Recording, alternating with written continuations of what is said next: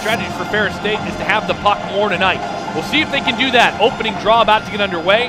Brad Merrick taken down to his knees. The official not dropping the puck. They had this issue last night. They finally dropped. The Bulldogs win it. We're underway. Into the feet of Livingstone, couldn't do anything with it. Now here's Venuto, gets by. Venuto draws a penalty in front of chance for the Bulldogs. They score! Jason Brancheau on the backhander, and the Bulldogs have cut the Maverick lead to 2 1, and they're going to the power play.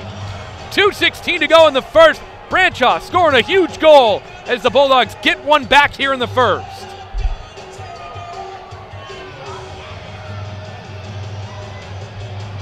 Nothing Rancier could have done about that one. A beautiful move and a backhander just beats him over the blocker hand. He actually followed Brancheau nicely. Shoudy has it, working down the wall. Branshaw to the point. Noel bombs it on and a big stop that time, Rancier. Boy, with the blocker, he moved his hand pretty quick to make that save. Noel with another one, it's blocked. Noel gets it back again and he scores! Andy Noel ties the game at two with his first collegiate goal.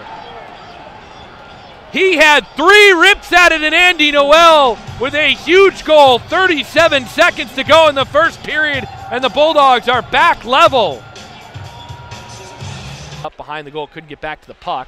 But Corney keeps it in that corner. Schleppe is there in the corner trying to feed it out front.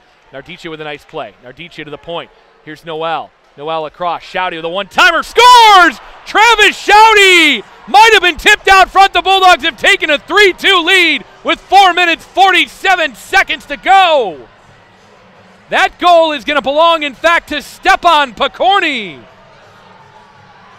Tipped out in front, nothing that Rancier could do about it. Let's take a look at the replay from behind the goal.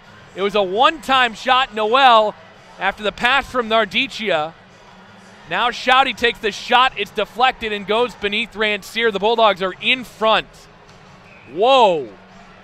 Nardicia. Nardicia fires it up the ice. It's blocked. Came in front of the Bulldog net, and the Bulldogs get back on it. Now it's McLaren off the windows. Out to center it goes. 10 seconds to go in regulation. Last 10 seconds, the Mavericks trying to get this thing up the ice.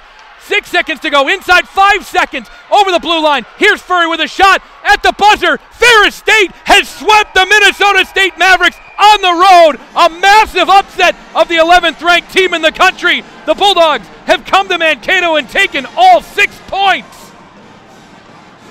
Perhaps the biggest win for Ferris State in several years. They mob Logan Stein. They had to hold off the Maverick charge but it's Stepan Pokorny, the hero, and the Bulldogs are going home six for six from Minnesota.